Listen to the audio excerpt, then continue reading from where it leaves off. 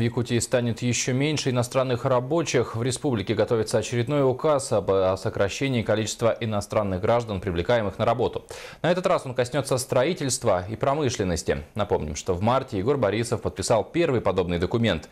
И первый и второй указы должны защитить национальный рынок труда республики и способствовать снижению уровня безработицы. Тему продолжит Саргалана Захарова.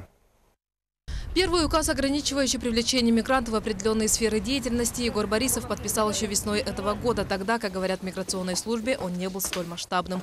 Под него подпали транспортники, продавцы нестационарных торговых точек и овощеводы. В общей сложности это чуть больше 200 мигрантов, а на этот раз сокращения будут более глобальными. На сегодняшний день трудоустроено, осуществляет трудовую деятельность более 3000 иностранных граждан. По патентам это, например, граждане Таджикистана, Узбекистана, там по полторы, по тысяче трудоустроены на сегодняшний день. Промышленности это большая часть граждан Украины, там порядка 500-600 человек по всей республике. Одна из главных целей указа – снижение уровня безработицы в республике. На сегодня, по информации региональной службы занятости, в Якутии насчитывает более 30 тысяч безработных людей. Из них всего около 10 тысяч стоят на учете по безработице.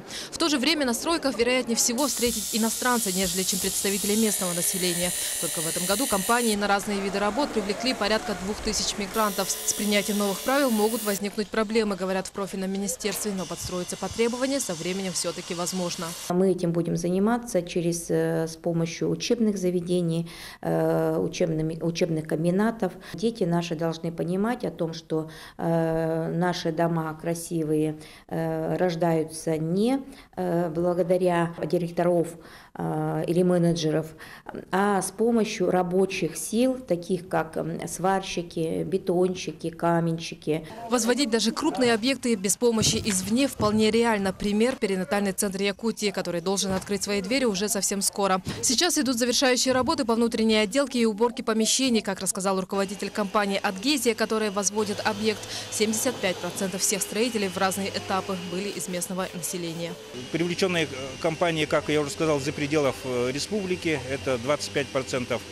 Но там в основном россияне работают, потому что, опять же, это инженерный э, состав, это достаточно высоко э, технологичный вид работ. Соответственно, у нас таких специалистов в Якутске мало. Отметим, что указ коснется все же не всех приезжих специалистов. На стройках в промышленности останутся граждане Евразийского экономического союза. В него входят такие страны, как Армения, Белоруссия, Казахстан, Киргизия. Саргалана Захарова, Евгений Лугина, Владимир Таюрский, НВК «Саха», Якутск.